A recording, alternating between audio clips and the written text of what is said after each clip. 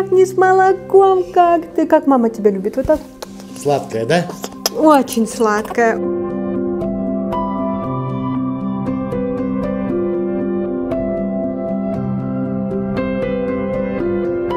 Абсолютно я считаю, что э, выбор места того, где рожать, нужно ориентироваться на то, кто будет принимать роды и кто будет следить за тобой потом в течение дня. Поэтому, конечно, моя огромнейшая благодарность вам, Юрий Анастасьевич, который вот эту малышку забрал у меня через 4 часа после родов, но сказал, что не навсегда верну здоровую и счастливую.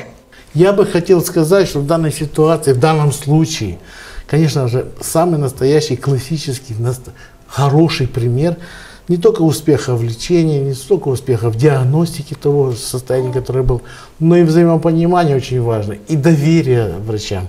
Это очень и очень важно, поэтому спасибо за ваше участие, за ваше активное понимание и такое доброе. Поэтому и результат такой хороший. Ну, доверие понимаете? возникает, когда ты понимаешь, что за тобой смотрят профессионалы. Понимаете? Сказали, что все хорошо, и она под присмотром, и под правильным наблюдением, и под протоколами, и под лучшими врачами. Скажи, мама успокоилась.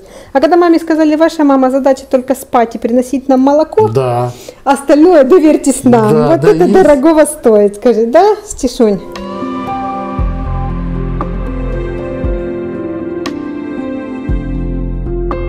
Сегодня я бы чуть больше остановилась уже на том, когда мы приехали в Ротон, uh-huh. да, и на наше длинное пребывание здесь, потому что обычно мамы там рожают и через два дня их уже выписывают, а мы здесь были 8 дней. Мы такие по полной, как говорится, all inclusive по полной. Это было вынужденное нахождение здесь, потому что у нас малышка попала в, через 4 часа после рождения в отделение интенсивной терапии.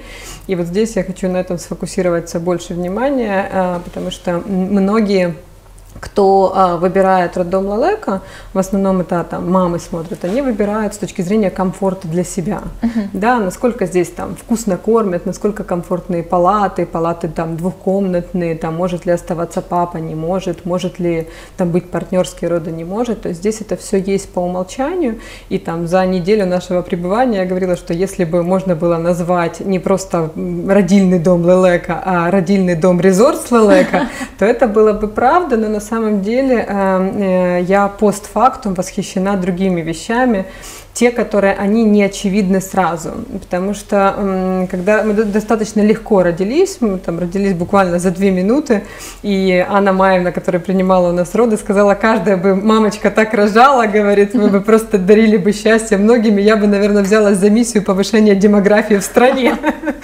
Вот, но у нас произошел конфликт, мы об этом знали, у нас конфликт был с малышкой по резус-фактору, у меня первая отрицательная, у нее вторая положительная. Еще момент крови. ведения э, родов это определилось? Да, мы это знали, поэтому мне вводили дополнительно уколы специальные для того, чтобы э, минимизировать эти риски. Но, тем не менее, когда малышка родилась, у нее сразу взяли как бы анализ крови, и через полтора часа взяли еще раз кровь, угу. и еще через два часа взяли кровь, и, соответственно, э, врачи увидели рост билирубина. Угу. А рост билирубина, он разрушает не только печень, он может и разрушать нервную систему. Угу. Поэтому это очень сложно. С одной стороны, кажется, ну что такое билирубин растет, но с другой стороны, оно очень сильно может отразиться потом на дальнейшее развитие ребенка. Угу. И То есть первые бы... секунды э, после рождения нужно уже э, иметь поддержку докторов, да, при необходимости. Да, при необходимости могут... они сразу брали кровь, они видели мою историю, потому что я наблюдалась, да. ну, как бы в женской консультации. И они встречают, и они встречают уже, уже понимают, что этот момент нужно контролировать, да. И как бы несмотря на то, что нас там через 4 часа перевели уже в палату, пришли у малышки, взяли еще раз кровь и забрали ее в отделение интенсивной терапии. Ну, представляете, как у мамы. Тебе кажется, вот, вот тебе родили, вот тебе положили на грудь, а здесь забрали. Ну, то есть первое, что накатанный ком э, слез, э, непонятно что, ощущение, что забрали навсегда, ты вообще не понимаешь. А, Но доверие Утро... к врачам есть. И а, то, что Сначала делает... я ничего не понимала. Mm-hmm. Знаете, как мама после родов, я ничего не понимаю. Доверие к врачам появилось, я скажу, когда? Когда я поднялась на пятый этаж в отделение интенсивной терапии, и мне объяснили, что произошло. Mm-hmm. Ну, потому что я опять не, не, сделала, не сделала то, что я делала как бы во время беременности, я не пошла читать в гугле, что это значит и чему это да, может это навредить. Вы же помните, mm-hmm. да? И я всем мамам рекомендую не читать диагнозы, методы лечения и что на что влияет в гугле, а слушать только врачей. Mm-hmm. Вот, поэтому, а, когда я увидела видела вот это вот маленький там трехкилограммовый комочек, лежащий в э, боксе.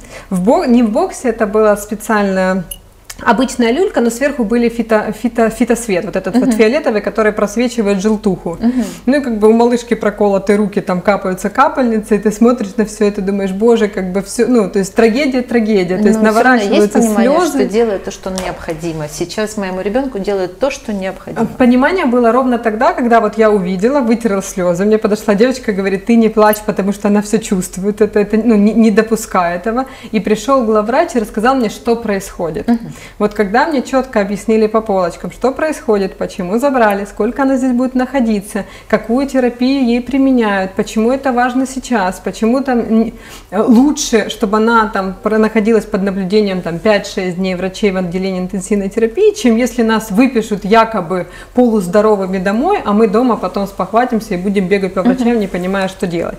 И когда тебе вот так вот э, Юрий Анастасович по, по полочкам разложил, а, почему это важно и что происходит с ребенком, угу. вот наступило спокойствие и, и принятие и понимание того, что вот в этом моменте роддом надо выбирать не по э, вкусной еде, угу. комфортному пребыванию, а все-таки по профессионализму врачей. Чтобы сделали все ребенку, что необходимо. Абсолютно, вот. да. Угу. Поэтому мы как бы четыре дня мы были в отделении интенсивной терапии, еще три дня мы наблюдались в палате, тоже досвечивались лампами. Угу. За нами был э, уход абсолютно всех врачей. У нас и окулист проверил, нами УЗИ делали. Uh-huh. То есть как бы с нами была и консультант по грудному вскармливанию, с нами был и педиатр детский, с нами То есть, были несмотря акушеры. на стресс да. и волнение, э, грудное вскармливание вы начали и сохранилось? Э, ну, да, ну, ты, ну, во-первых, мы приложили малышку сразу к груди еще в родзале, конечно uh-huh. же. И, ну, просто пока она находилась в боксе этих три дня, мы кормили ее, ну, сцеживали с бутылочки uh-huh. просто. А потом мы вернули, как бы нормализовали лактацию, и уже, и уже здесь даже там э, до, до, доследили, скажем, давно, mm-hmm. и уже выпустили домой абсолютно как бы там с пониженным билирубином. Mm-hmm. Я спокойно была ну, там в 9 часов следующего утра после того, как родила. А вот это в момент, когда с 4 забрали до 9, конечно, mm-hmm.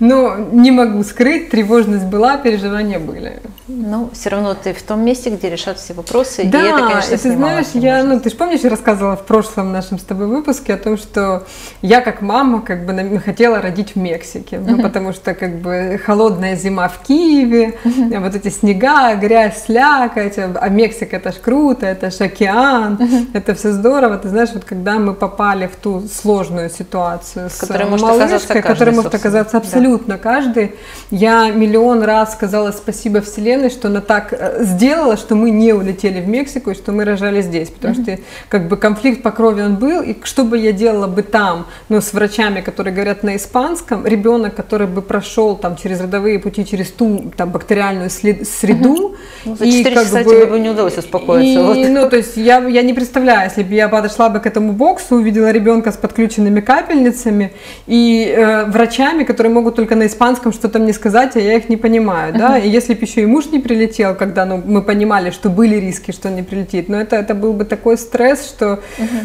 слава богу, слава богу, что все произошло так, что мы были здесь, и вот, ну, я еще раз хочу сакцентировать внимание на, когда выбираете роддом, выбирайте все-таки по профессионализму врачей и по э, технологическому оснащению, потому что Лелека, насколько я знаю, это единственный в Украине роддом, который сертифицирован по международному стандарту. GCI, да. GCI, да. А, это значит, что все врачи работают по протоколам, то есть uh-huh. когда мне в 9 утра об этом и сказал врач, говорит, мы работаем по протоколам, мы следуем вот это, вот это, вот это, вот поэтому вы, мама, можете не переживать. Ваша задача спать и приносить молоко. Ничего другого вы сейчас делать не должны. Это, кстати, Юрий Анастасович сказал, говорит, ваша задача спать и носить молоко. Я говорю, все, я поняла.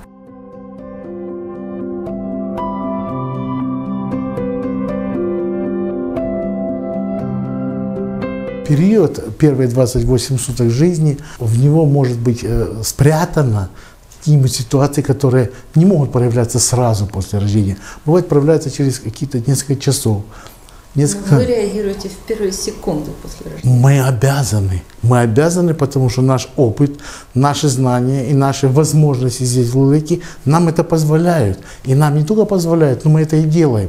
И у нас есть протоколы, по которым мы работаем. Все международные протоколы, они адаптированы к нам. И оказываем диагностическую помощь, консультативную помощь, а если потребуется и лечебную помощь от момента рождения до выписки.